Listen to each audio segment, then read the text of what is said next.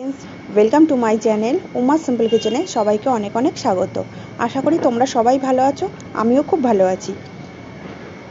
শীত মানেই নানান ধরনের পিঠেপুলি খাওয়া। আজকে আমি বাঙালির অত্যন্ত প্রিয় দারুণ স্বাদের পাটিসাপটার রেসিপি তোমাদের সঙ্গে শেয়ার করতে চলে এসেছি। পাটিসাপটা বানানোর জন্য আমি এখানে প্লেটে বেশ কিছুটা সন্দেশ নিয়ে নিয়েছি। আমার এখানে কাঁচাগোল্লা বা মাখা সন্দেশ পাওয়া যায় না। সেই জন্য আমি এখানে এই ধরনের সন্দেশ নিয়ে নিয়েছি বেশ কিছুটা। এবার আমি হাত দিয়ে সন্দেশগুলোকে ম্যাশ করে নেব। দেখো, এখানে আমি এক এক করে সমস্ত সন্দেশগুলো হাত দিয়ে ম্যাশ করে নিয়েছি। সমস্ত সন্দেশ আমার এখানে ম্যাশ করে নেওয়া হয়ে গেছে। এবার আমি এই ম্যাশ করে নেওয়া সন্দেশের উপরে বেশ কিছুটা আমন্ডের টুকরো ছড়িয়ে দিলাম। এবার আমি আমন্ডের টুকরোগুলো সন্দেশের সঙ্গে আরও একবার হালকা করে মিশিয়ে নেব। এখানে আমি আমন্ডের টুকরো দিয়েছি, তোমরা চাইলে কাজু বাদাম, কিশমিশের টুকরো দিয়ে নিতে পারো। আবার কিশমিশ, কাজু বাদাম পছন্দ না করলে শুধুমাত্র সন্দেশ দিয়েও বানিয়ে নিতে পারো। এখানে আমার মেখে নেওয়া হয়ে গেছে। এবার আমি সন্দেশটা একটা পাশে সরিয়ে রেখে এখানে একটা বোল নিয়ে নিয়েছি। তার মধ্যে দিয়ে দেবো দু বাটি ময়দা। এক বাটি ময়দা আমি দিয়ে দিয়েছি আরও এক বাটি ময়দা আমি দিয়ে দেব। তার সাথে সাথে আমি এই ময়দার মধ্যে দিয়ে দেব এক বাটি সুজি। এখানে আমি এক বাটির থেকে একটু কম সুজি নিয়েছি। আর দিয়ে দেব এক বাটি চিনি। একই বাটির মাপে সমস্ত উপকরণ কিন্তু আমি দিয়ে নিয়েছি। সুজি আমার দিয়ে দেওয়া হয়ে গেছে। এবার একটা চামচের সাহায্যে এই সমস্ত উপকরণগুলো একসঙ্গে মিশিয়ে নেব। দেখো, এখানে আমি চামচের সাহায্যে সমস্ত উপকরণগুলো একসঙ্গে ভালো করে আমি মিশিয়ে নিলাম। সমস্ত উপকরণ আমার মিশিয়ে নেওয়া হয়ে গেছে। এবার এই মিশিয়ে নেওয়া সুজি, ময়দা আর চিনির মধ্যে আমি দিয়ে দেব দুধ। আমি এই ব্যাটারটা বানাবো সম্পূর্ণ দুধ দিয়ে। প্রথমে আমি এক কাপ দুধ দিয়ে দিয়েছি। দুধ দিয়ে কিছুটা মেখে নেব। তারপর আমি আরও এক কাপ দুধ দিয়ে দিলাম। এইভাবে অল্প অল্প করে দুধ দিয়ে আমি কিন্তু ব্যাটারটা বানিয়ে নেব পাটিসাপটা বানানোর জন্য। অল্প অল্প করে দুধ দিয়ে আমি ব্যাটারটা বানিয়ে নেব।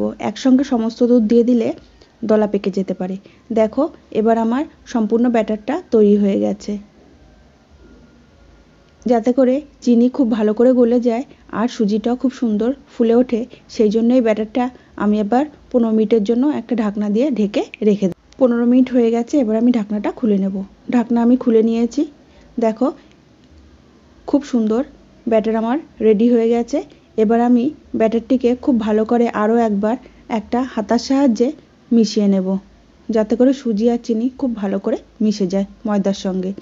এখানে আমি একটা তাওয়া খুব ভালো করে গরম করে নিয়েছি। তার উপরে আমি ঘি ব্রাশ করে নেব। দেখো, এখানে আমার ঘি এখানে আমার ঘি ব্রাশ করে নেওয়া হয়ে গেছে। এবার আমি যে ব্যাটারটা বানিয়েছিলাম, আমি বড় হাতার এক হাতা ব্যাটার তার উপরে দিয়ে দিলাম। এবার আমি হাতার পেছন দিয়ে খুব ভালো করে ব্যাটারটা চারিদিকে ছড়িয়ে নেব আর গোল করে নেব।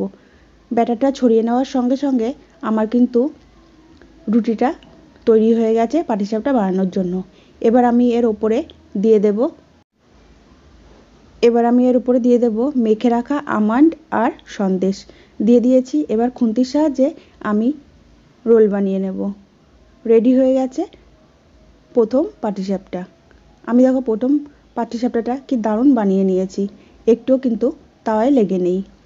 এইভাবে আমি আরও একটি পাটিসাপটা তোমাদেরকে বানিয়ে দেখাবো। তোমাদের যদি সন্দেশ দিয়ে এই পাটিসাপটার রেসিপিটি ভালো লেগে থাকে লাইক করবে শেয়ার করবে আর কমেন্ট করে জানাবে রেসিপিটি কেমন হয়েছে। আর আমার চ্যানেলে নতুন নতুন ভিডিও পেতে হলে অবশ্যই আমার চ্যানেলটিকে সাবস্ক্রাইব করবে। এবার আমি দ্বিতীয় পাটিসাপটাটাও একইভাবে বানিয়ে নেব। দেখো ব্যাটার দিয়ে দিয়েছি আর গোল করেও নিয়েছি। এবার আমি এই ব্যাটারে তৈরি হওয়া রুটিটার ওপরে সন্দেশ ব্যাটার দিয়ে তৈরি হওয়া পাটিসাপটার জন্য যে রুটিটা বানিয়েছি, তার উপরে দিয়ে দিলাম সন্দেশ। এবার তার উপর থেকে আমি কিছু আমন্ডের টুকরো দিয়ে দেব। এবার আমি খুন্তির সাহায্যে একইভাবে রোলের মতো বানিয়ে নেব।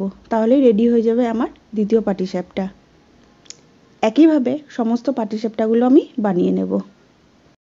দ্বিতীয় পাটিসাপটাও আমি প্লেটে তুলে নেব আর সমস্ত পাটিসাপটা বানিয়ে প্লেটে সার্ভ করব। দেখো আমি এখানে প্লেটে সার্ভ করে নিয়েছি, কতটা লোভনীয় দেখতে হয়েছে